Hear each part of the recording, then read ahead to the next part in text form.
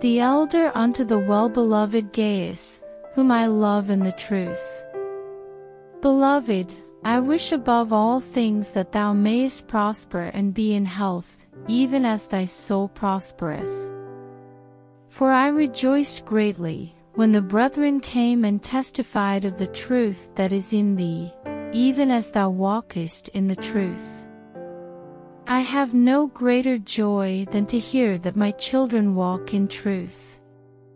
Beloved, thou doest faithfully whatsoever thou doest to the brethren, and to strangers, which have borne witness of thy charity before the church, whom if thou bring forward on their journey after a godly sort, thou shalt do well.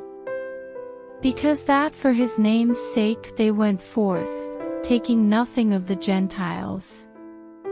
We therefore ought to receive such, that we might be fellow helpers to the truth. I wrote unto the church, but Diotrephes, who loveth to have the preeminence among them, receiveth us not.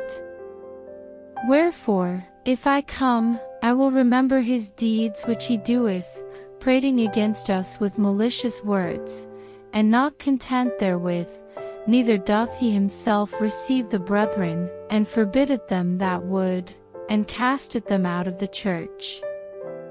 Beloved, follow not that which is evil, but that which is good. He that doeth good is of God, but he that doeth evil hath not seen God.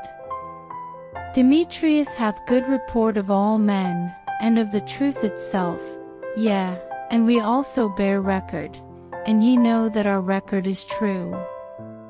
I had many things to write, but I will not with ink and pen write unto thee.